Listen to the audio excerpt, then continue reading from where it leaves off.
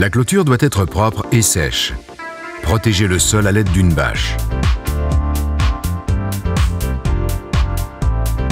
Pour appliquer une lasure sur une clôture, vous avez besoin d'un pulvérisateur, d'un pinceau large à poil long, d'un mélangeur et d'un ouvre-boîte.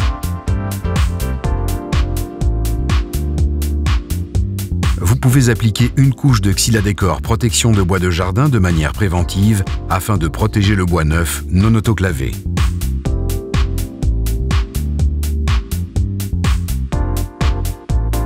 N'oubliez pas de bien mélanger la lasure avant de la transvaser.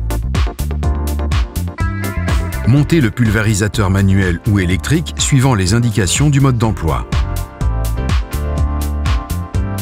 Ensuite, appliquez une première couche de xyladécor lasure bois de jardin spray.